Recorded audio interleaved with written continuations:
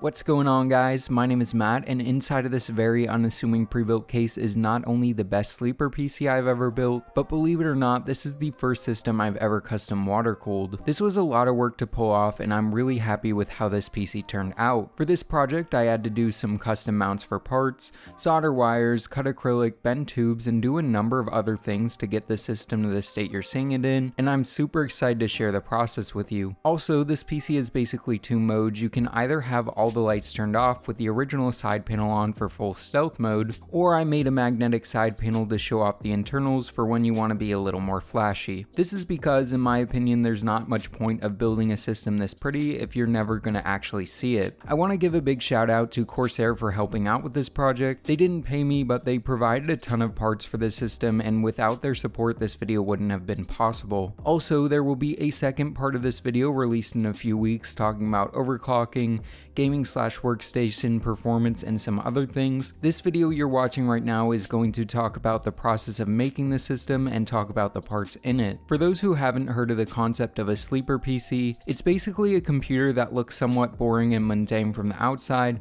but is top of the line specs on the inside. This trend is inspired by sleeper cars which follow the same model of looking slow from the outside, but having a lot of power under the hood. Most sleeper PC builds usually start with selecting the case, usually they're very old beige boxes, and I've done one of these myself, but I picked the case I did for a number of reasons. First off, I love the way it looks. It's simple, but in a good way. This style of Lenovo slash IBM cases is by far my favorite design of pre-builds, and while it does look nice, at a quick glance not many people would assume this is a powerful system. To be more specific, the chassis is for a Lenovo S30 workstation PC from nearly a decade ago. I used the original system in an older project and held onto it because I knew one day I would build a new system inside of it. I also like this case because it's got a ton of openings for airflow and it's a full-size ATX machine so there was hope hopefully going to be enough room for custom water cooling. The first step in the modding process was to tear the existing PC down to make room for the new parts. The old system in this is still pretty decent being an older Xeon system and I already transferred all those parts into a new case so they wouldn't go to waste. Being a workstation, the system had a lot of nice features like the power supply which was 80 plus gold rated. Pulling all the parts out didn't take very long at all. First I pulled out the power supply, then the motherboard, and finally I took out all the front panel stuff like the I.O the disk drive, and the power button. With this done, the case was ready to start being modified. To make as much room as possible, I need to remove all the front drive mounts. I began by drilling out all the rivets I could find that were holding the drive cages in. Sadly, there were some mounting points on the back panel which were non-accessible, so I had to go at it with a crowbar and pry the cage from the case. Finally, I gave it a few whacks with a mallet and it all came out in one piece. Something I noticed was that a rivet was missing towards the bottom front of the chassis, so I simply drilled the hole a little bigger, inserted a rivet, and used the rivet tool to secure it in place. With the drive cages out, I could now start figuring out how I was going to install each component. I did some measurements of the case to figure out what size radiator would be able to fit, then I headed over to the Corsair HydroX configurator. This allows you to input the components you're going to be using and it gives you a full list of what you need to water cool those parts. This was super helpful for a noob like me because without it I'm sure I would have forgotten something. Now this kind of gives you the minimum of what you need so getting stuff like extra fittings isn't a bad idea. Once all the components arrived to me, I was able to start physically seeing how they were going to fit in the case. I was most worried about the radiator, but with a quick check, it was clear it was possible to make it work. With the reassurance the radiator would fit, I could begin preparing the parts for water cooling. I needed to install water blocks, fittings, and tubing, but before all that, I needed to ensure all the parts were working, building the system and filling the loop only to find out I had a dead CPU or motherboard would have been a giant pain in the butt. Testing the parts was simple, I installed the CPU into the socket, installed the stock cooler, plugged in my RAM, a graphics card, and a few PSU cables.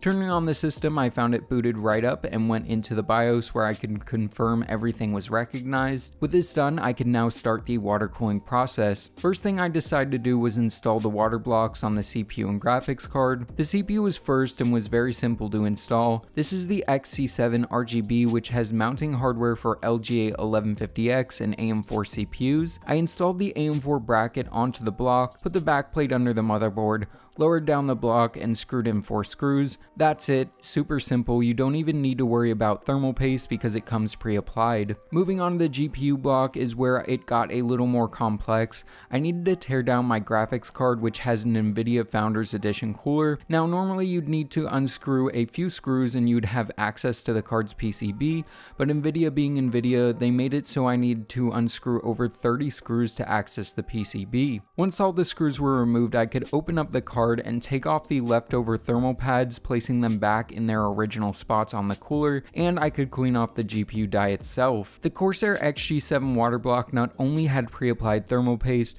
but also had thermal pads pre-installed which you don't usually see and made the process a bit easier. I lowered the card onto the block and the backplate onto the card and secured it with about a dozen screws. Now both water blocks were installed and I could bring my attention to the other water and cooling parts. I wanted to mount the radiator in first before everything else because that was going to require the most modifications to make it fit. This is the Corsair XR5 360 which is a high quality copper 360mm radiator. I decided to use a few pieces of aluminum as a guide for mounting this and as a spacer to make sure the chassis itself wouldn't interfere with the front fan spinning. I marked spots that corresponded with all the mounting holes for the radiator, then drilled them out one by one. This left me with basically a template for marking the case itself, and I used a 120mm fan to keep each of the pieces square and spaced correctly. I put this into the case and started marking holes where the rad would mount. I found that not all the points would be able to secure to the front, but enough would to keep it nice and secure. I drilled out all these marked holes, making sure they would be wide enough for the screws I was going to be using.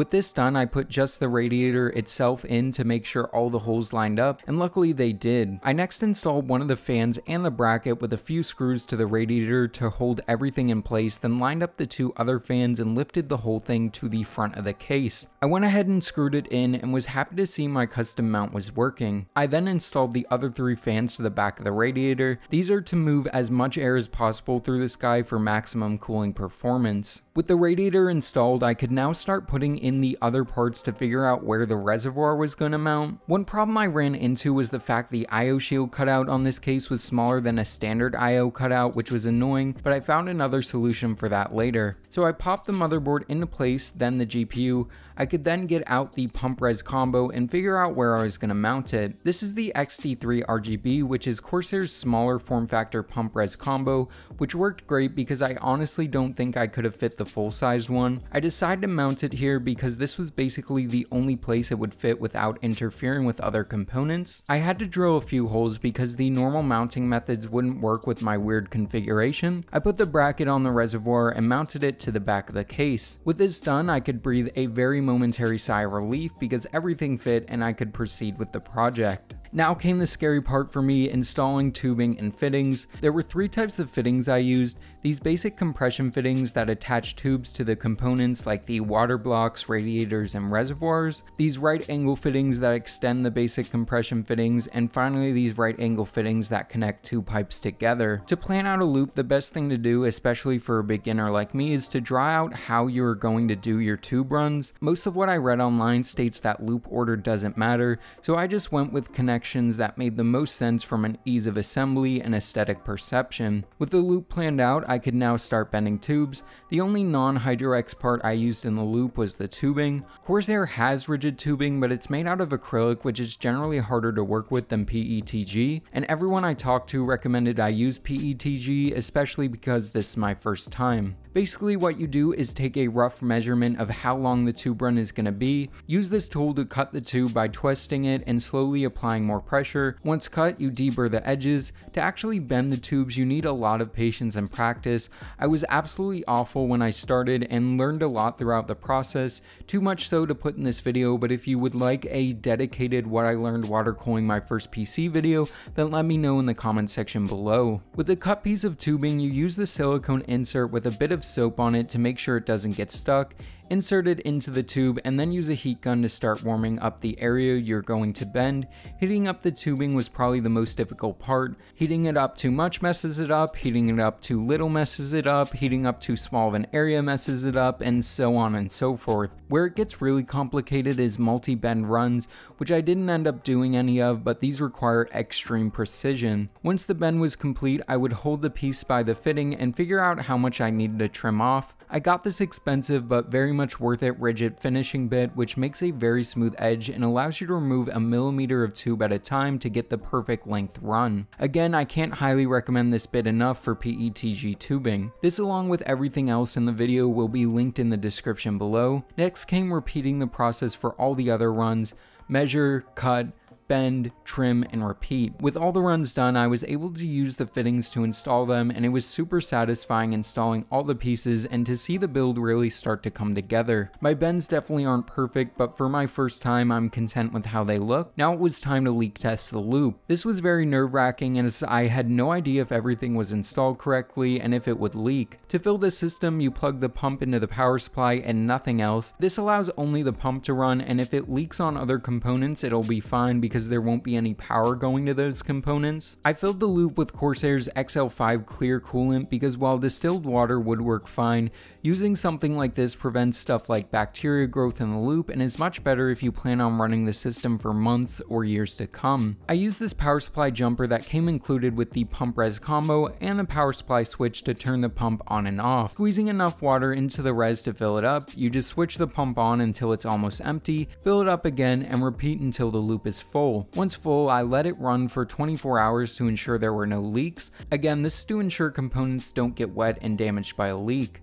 After 24 hours, I was happy to see a leak-free system. With that, the water cooling was done, but the build was far from over. Next came installing the power supply, which is something I definitely should have done before filling the loop. The system's very cramped and I had to be very careful not to dislodge any tubes which could spill water everywhere. It was like playing a very expensive game of operation. With this in, I started to realize just how many cables there were between all the fan cables, RGB cables, power supply cables, and other miscellaneous ones.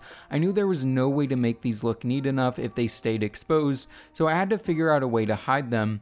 I'm sure you have heard of a power supply basement, but have you heard of a cable management basement? Basically, I made a cover that hides all the cables. I took angle aluminum, cut out six pieces to the size I needed, drilled holes and installed rivets. This made these two U-shaped pieces that would act like a frame for the shroud. For panels over the frame, I decided to use acrylic. I scored and snapped the two pieces I needed. These were glued onto the aluminum frame and left to dry overnight. To cover them, I used this carbon fiber look vinyl. I cut piece a little too big for the shroud. I applied it to the acrylic and tried to push out as many air bubbles as I could. Next, I trimmed off the excess vinyl and was left with a completed cable management shroud. It isn't perfect, but all of it that is visible looks very nice. Also, I think this makes the build look much cooler and certainly is much nicer on the eyes than dozens of messy cables. With the cables hidden, the inside of the system was complete and it was now time to move on to the exterior. For the large holes left by the disk drive and card reader, I first removed the front pieces from the drives themselves. Using these will maintain the original look without having the bulk of an unnecessary disk drive and card reader that wouldn't have fit anyway. What I did was tape the pieces in place from the front using painter's tape. This kept them exactly where I wanted them, then I flipped the cover over and applied glue to permanently attach the pieces into place. The CD drive looks fine, but the card reader you can see through the gaps where the cards would normally go. I need to figure out a solution in the future to make it look more natural. For the front I.O., I disassembled the front USB and audio to take a look at it. I was going to replace the USB 2 connectors with an extra USB 3 set I had, but neither the new USB or old USB cables were long enough to reach the header on the motherboard, and I didn't care that much about front USB, so I just installed the ports only into the original spots and kept the front audio as is. For the power button and LED, I needed to modify the existing cable to work with the new motherboard. What I did was snip the old connector and soldered jumper cables to make the power switch and power LED leads work. This worked well and I'm happy I was able to make the original power button LED work for the system. Cutting a hole in the power button assembly allowed the front audio cable to pass through through also. With this done, I took a step back and was seriously happy with how the system was turning out, but was disappointed I would never be able to see the internals. I wanted the original panel to work for full stealth mode, but I also wanted a window for when I wanted to see the loop and all the pretty RGB LEDs. So what I did was make my own DIY magnetic side panel. Now this method isn't new, I think I first saw it on a Caitlin V3 video which I'll link below. Basically I took a sheet of clear acrylic, scored it on two edges, and snapped the excess off to be left with the size I needed. To mount it I used this cool magnet tape. I just cut down strips and applied it to the edges of the panel. This didn't look very good from the other side so I needed a way to hide the magnetic tape. I used the same vinyl from the cable shroud which I cut into a little over 1 inch strips. I measured 1 inch on the acrylic and applied each of the strips to make a pretty good looking border. I then just flipped it over and cut off the excess vinyl. With the window complete, it was now time to start the system up for the first time. Luckily, it booted up first try. Now, like I said before, performance testing plus a bunch of other stuff will be in part 2 of this video, but I do want to go over each of the parts now before we wrap the video up. So let's start by talking about the CPU. What I went with is the Ryzen 9 3900X, which is probably the best price to performance workstation CPU on the market. It has 12 cores and 24 threads, which is perfect for stuff like intense video editing, but it still clocks pretty high, which also makes it great for gaming. At a little over $400, this isn't cheap, but going up to the 3950X for another $350 just didn't seem worth it. For the motherboard, I went with a pretty basic X570 board feature-wise, but in terms of performance, it rivals boards that are much more expensive. This is the Asus Prime X570P, which at around $150 is a decent deal for the money. Again, it isn't super feature rich, but in a video from Hardware Unboxed, Steve found this to be a top performer among entry-level X570 boards. I was going to go with the Asus TUF X570, but this was out of stock so I went with this instead. I think it looks pretty decent overall, it has the features I needed, and I have no regrets picking up this board.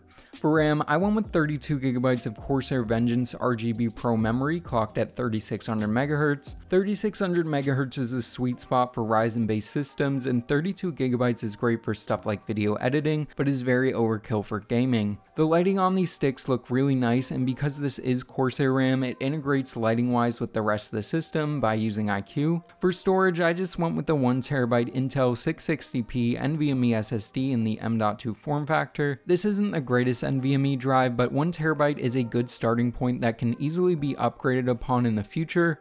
Plus there's another M.2 slot so you have a number of different storage upgrade options. For the graphics card, I went with the most powerful card I own, which is the RTX 2080 Super Founders Edition. This is one step below the mighty 2080 Ti performance-wise, but it still outputs amazing performance, being able to play anything you throw at it with high resolutions and refresh rates. The combo of the 3900X and 2080 Super is great for a number of different tasks. For the power supply, I went with the Corsair RM750, which is a 750 watt, 80 plus gold rated power supply. It's fully modular, which is perfect for a build like this, or any build where space is limited. Custom length cables would have been nice, but the included ones weren't bad at all. This unit provides plenty of clean, reliable power to the entire system, and 750 watts is more than enough power. The case and all the water cooling stuff we went over earlier in the video, but again, everything will be linked in the description if you want to find out more details and current pricing. Overall, this is the most powerful system I've ever built and is the first system I've ever custom water cooled. It's not perfect, but I'm happy with how it turned out and hope you guys are too. If you have any questions or specific things you'd like to see or hear about in part 2 of this series, then let me know your suggestions in the comment section below. So yeah guys, I think this wraps this video up. I hope you guys enjoyed it. If you did, make sure to give this video a thumbs up and consider subscribing so you get notified when part 2 comes out. And as always, this is Matt from Tech by Matt, signing out.